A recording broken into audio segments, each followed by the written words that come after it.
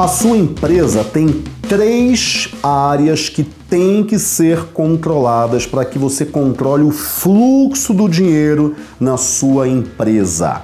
Se você perder a mão em alguma dessas três, a sua empresa começa a perder dinheiro rápido. Vamos falar nesse vídeo quais são esses três departamentos. Os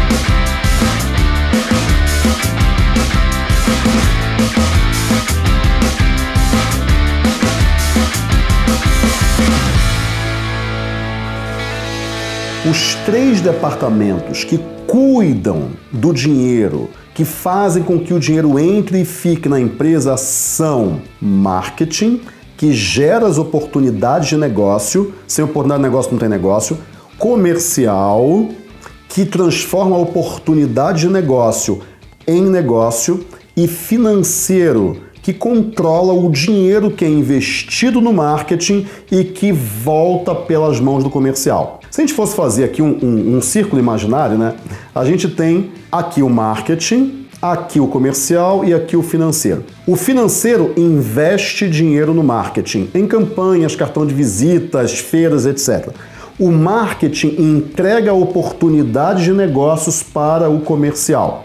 E o comercial transforma as oportunidades entregues em negócios e fazem com que o dinheiro desses negócios voltem para o financeiro. Então, o financeiro investe no marketing, o marketing transforma dinheiro em oportunidades para o comercial, o comercial transforma oportunidades em negócio e devolve o dinheiro para o financeiro.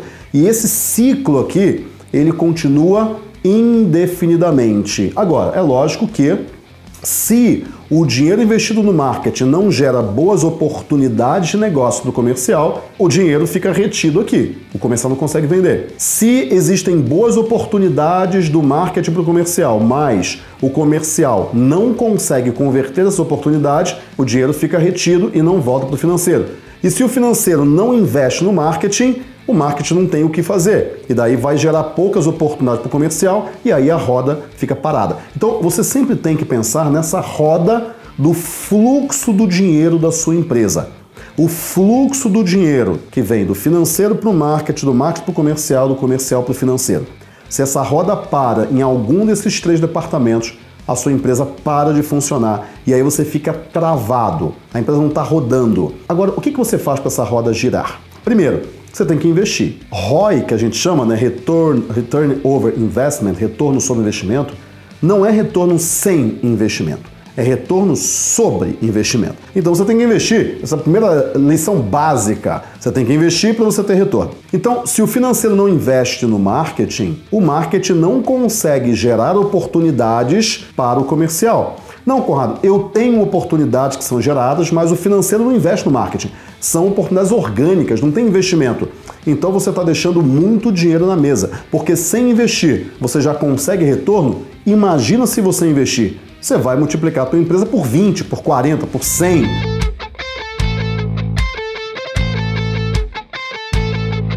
Então, é preciso investir, ponto, acabou. Mas você não vai fazer qualquer investimento. Você vai investir no marketing e vai mensurar o resultado que volta para o financeiro. Imagina que eu fale para você que a sua empresa, lendo os números dela, eu falo para você o seguinte: olha, a sua empresa é um balde mágico. Você coloca mil reais nesse balde e sai em 10 mil. Você coloca 10 mil e sai em 100 mil. Você coloca 100 mil e sai em 1 milhão. Quanto que você vai querer colocar nesse balde? Tudo. Tudo. Todo o dinheiro.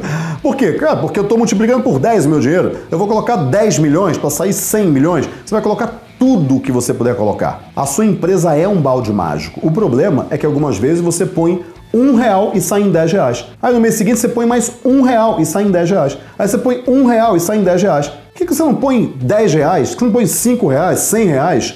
Se estão saindo 10 reais a cada um real. Senão você está investindo muito pouco no marketing. Então a roda está travada aqui no início. Agora, Conrado, eu investi mil reais. Só que quando eu investi mil reais, voltaram 500 reais. Não, então você não pode investir mais. Você tem que primeiro acertar essa roda. A roda, para ela girar cada vez mais rápido, Você tem que investir mil e tem que voltar no mínimo 5 mil, 7 mil, 8 mil, 10 mil, 20 mil. Porque senão, essa roda, ela, ela tá travando. Você não pode investir mais, porque a roda está rodando muito quadrada. Ela é uma roda devoradora de dinheiro e não geradora de dinheiro. É um monstro devorador de dinheiro.